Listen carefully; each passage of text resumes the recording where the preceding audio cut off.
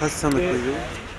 Bolu'da Fethullahçı terör örgütünün emniyet yapılanmasına ilişkin davada yargılanan 28'i tutuklu 71 sanıktan 53'üne 1 yıl 10 ay 15 gün ila 8 yıl 1 ay 15 gün arasında değişen hapis cezası verildi. Bolu Ağır Ceza Mahkemesi'nce belediyenin nikah salonundaki duruşmada bazı tutuklu ve tutuksuz sanıklar hazır bulundu. Mahkeme heyeti dosyaya yeni eklenen deliller olduğunu belirtti. Daha sonra dinlenemeyen tanık OK'nin tutuklu sanık Hakkı Kaynak hakkında bilgisine başvuruldu. Tanık OK Erzurum'da görev yaptığı sırada Hakkı Kaynak'a gittiği sohbetlerde birkaç kez gördüğünü belirtti. Kaynağın tüm sohbetlere katılmadığını da dile getiren OK bu olayın 2013 ile 2014 yılları arasında gerçekleştiğini kaydetti. Tanığın dinlenilmesinin ardından son sözleri sorulan sanıklar beraat talebinde bulundu. Mahkeme heyeti silahlı terör örgütüne üye olmak suçundan sanıklar Mustafa Yurttaş'a 8 yıl 1 ay 15 gün, Davut Çınar, Ekrem Güneysi, Emirhan Karalar, Ertuğrul Bozdağ, Hasan Erol, İmdat Çiftçi, İradet Taştekin, İsmail Bayramcı, Mehmet Ali Yıldız, Mevlüt Keleş, Muhammed Yıldırım, Murat Sel, Muzaffer Karakaya, Ömer Karabay, Yalçın Duran, Ceren Ahu Karabay ve İsmail Bozkurt'a 7 yıl 6 ay, Hikmet Başar, Kubilay Akgün ve Uğur Yaşar Günaydın'a 6 yıl 10 ay 15 gün, Cemalettin Özcan, Derya Aydın, Erkan Ergül, Esra Namlı, Hacı Seçen, Halil Yeşilyurt, Memduh Uysal, Mete Bülbül, Mustafa Tamer Çetin ve Özcan Köksal'a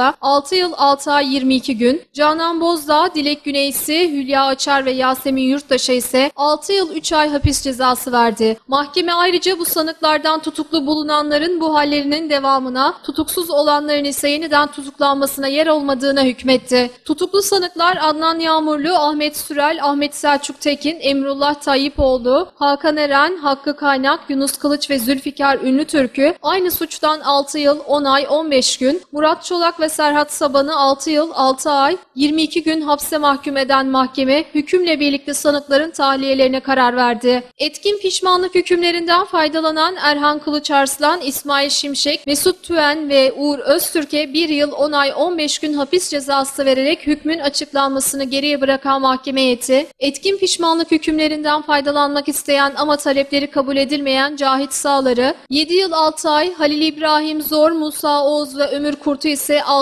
yıl 6 ay 22 gün hapis cezasına çarptırdı. Mahkeme heyeti tutuksuz sanıklardan BT, CK, FK, HD, İB, İE, KA, SB, US, VG, HS, LA, MD, MT'nin beraatlerine hükmederken AFÖ ile OH'nin ise cezalandırılmasına yer olmadığına kanaat getirdi. Tutuklu sanıklardan SDA'nın İzmir'de, ÜA'nın ise Van'da devam eden davaları nedeniyle bu sanıkların dosyalarının ayrılmasına hükmetti.